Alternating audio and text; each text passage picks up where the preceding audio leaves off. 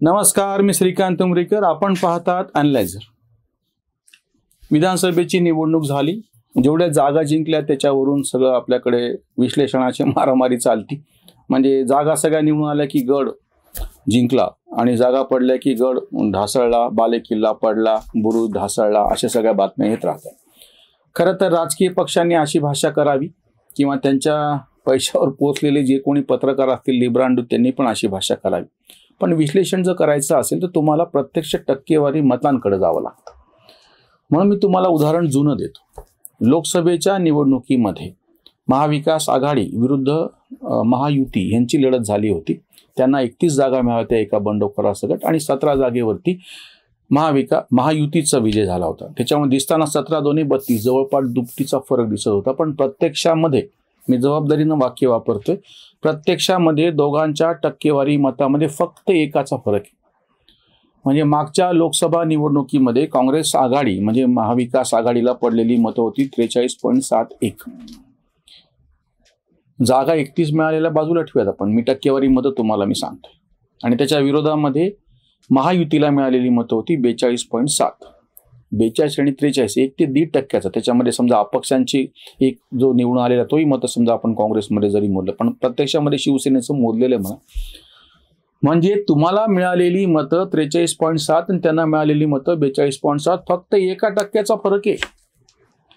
या एका टक्क्याच्या फरकावरून तुमच्या लक्षात यायला पाहिजे होतं की त्यांची परिस्थिती इतकी स्ट्रॉंग आहे की ते त्याच्यामध्ये अजून त्यांनी वाढ केली. म्हणजे आता मी तुम्हाला सांगतो जागा एक वेळ बाजूला ठेवा जागेमुळं सगळा घोळ तुम्ही. म्हणजे तेव्हा त्यांना कमी मिळाल्या म्हणून शिव्या खाल्ल्या तुम्ही तेव्हा हे कोणी टक्केवारी मतं पाहिली नाही त्यांना आता जेव्हा लँडस्लाईड विक्री म्हणता तुम्ही प्रचंड मोठ्या प्रमाणामध्ये त्यांच्या जागा निवडून आल्या दोनशे चौतीस पर्यंत त्याच्यामुळे सगळे आता बोंबा मारा आले. पण प्रत्यक्षामध्ये मतांमध्ये बघा तुम्ही बेचाळीस पॉईंट साठ टक्क्यावरती असलेली महायुतीनं आता उडी मारली आणि अठ्ठेचाळीस पॉईंट एक सहा.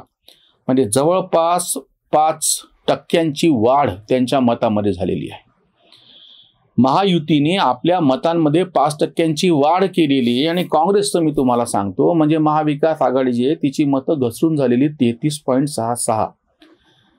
त्रेचाळीस वरून तेहतीस वर तुम्ही घसरले म्हणजे तुमच्या दहा टक्क्याची घसरण झाली आणि त्यांच्या पाच साडेपाच टक्क्याची वाढ झाली म्हणजे पंधरा सोळा टक्क्याचा डिफरन्स आहे आता.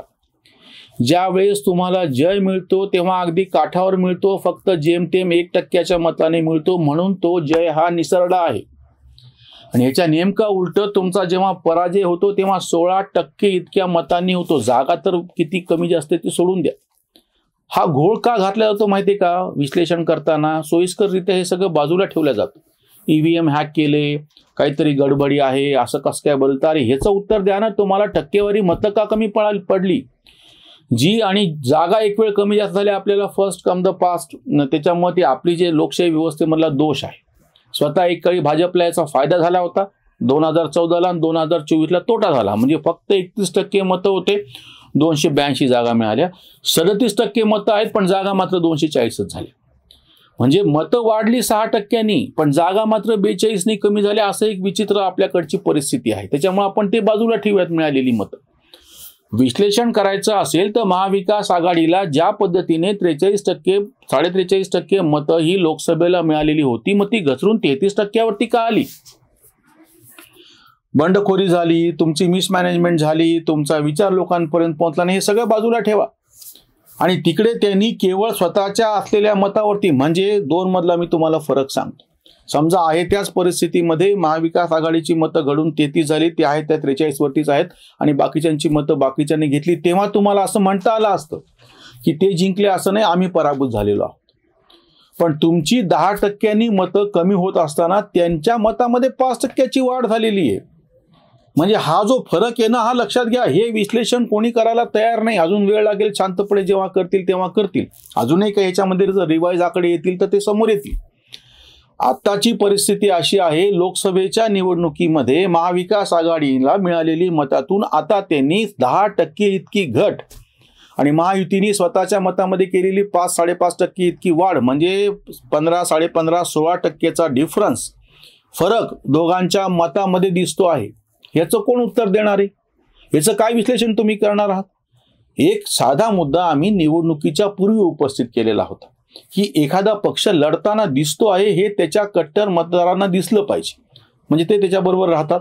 आणि जे काठावरचे मतदार आहेत त्यांना जर जो म्हणजे मी तो रेसच्या भाषेमध्ये उदाहरण दिलं होतं की जो घोडा पळणारताना दिसतोय त्याच्यावरती पैसा लावला जातो. जो घोडा बसलेला आहे त्याच्यावरती पैसा लावला जात नाही. महाविकास आघाडीची परिस्थिती अशी होती कितीतरी मतदारसंघात ते लढताना दिसत नव्हते. जसं मी ह्याचं उदाहरण आता तुम्हाला परत सांगतो की ज्या ठिकाणी काँग्रेसचा उमेदवार जेमतेम पाच सहा हजार मतांवरती येऊन थांबलेला आहे. या जिथून मी व्हिडिओ करतोय त्या मतदारसंघात औरंगाबाद पूर्व. म्हणजे तुम्ही लढताना दिसत नाहीयेत ना. एम आय एमचे इम्तियाज जलील यांनी टस्सल लागली दिली. भाजपच्या अतुल सावे यांना माजी मंत्री शेवटच्या शेवटच्या फेऱ्यांमध्ये अतुल सावे जिंकू शकले. याच्यामध्ये काँग्रेसचा उमेदवार कुठे आहे? म्हणजे उलट आता एम आय एमवाले असा आरोप करतात की काँग्रेसचा उमेदवार नसला असता तर ती मतं आम्हाला मिळाली की याच्या एम आय एमची जागा तरी निवडून आलेली असते या ठिकाणी. म्हणजे महाविकास आघाडीची सगळ्यात मोठी बोंब यावेळेस अशी झालेली आहे. मतही घटली त्यांनी मतं वाढून घेतली आणि तुमच्यामध्ये जी लिथार्जी होती अनास्था होती याच्यावरती कोणीच बोलायला तयार नाहीत. ईव्हीएम कसा खराब आहे? मशीन कशा हॅक केलेल्या आहेत? आणि हा विषय म्हणजे काहीतरी पत्रकार असं सांगायला की बाबा हे तर आम्हाला माहितीच होतं. हे सगळं मॅनेज झालेलं आहे. अरे तुम्ही एकदा कधीतरी स्वतःचं आत्मपरीक्षण करणार आहेत की नाही? तुमच्याकडे काय चुका झाल्या किंवा राहुल गांधी सारखं पूर्णपणे लायक नसलेलं नालायक शब्द वापरला तर तुम्हाला शिवी वाटेल. म्हणून मी लायक नसलेलं असं म्हणेल. लायक नसलेलं नेतृत्व गेले अकरा वर्ष तुम्ही उरावर घेऊन बसलेले आहात. मी तुम्हाला जुनं उदाहरण सांगतो. दोन हजार तेराला मोदींना पंतप्रधान पदाचा उमेदवार भाजपनी जाहीर केल्याच्यानंतर किंवा एनी पुढे केल्याच्यानंतर ह्या दोन्ही उमेदवारांच्या मुलाखती घेतल्या होत्या. अर्णव गोस्वामींनी राहुल गांधींची घेतलेली मुलाखत आहे.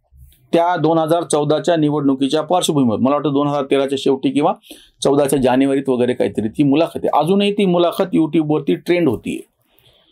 मी तुम्हाला दहा अकरा वर्षापूर्वीचं उदाहरण देतो. तेव्हापासून असं स्पष्ट दिसतंय की राहुल गांधी हा नेतृत्व करायला पूर्णपणे लायक नसलेला असा नेता आहे. ज्याला कुठलंही गांभीर्य नाही निवडणूक संपली किंवा आधेमध्येच तो उठतो आणि परदेशामध्ये निघून जातो.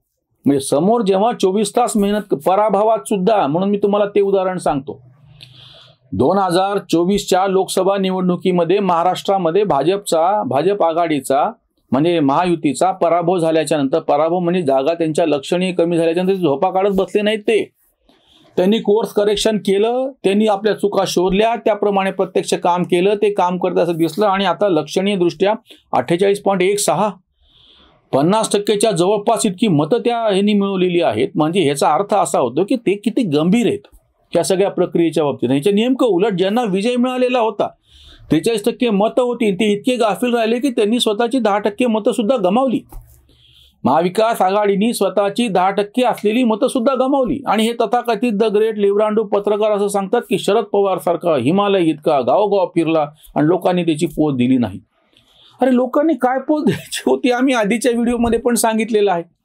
जेव्हा की तुम्ही प्रत्यक्षात गांभीर्य दिसत नाही तुमच्या ह्याच्यामध्ये तुम्ही फिरताना दिसतायत पण तुम्ही प्रत्यक्ष संपर्क कोणाचा करताय किंवा काय करताय? पवारांची तर गोष्ट अशी की ते काय बोलतायत ते समोरच्याला कळायलाच मार्ग नाही.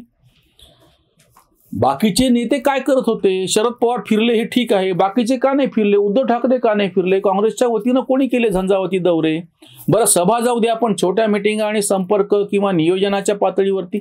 परत मी इथलं उदाहरण सांगतो.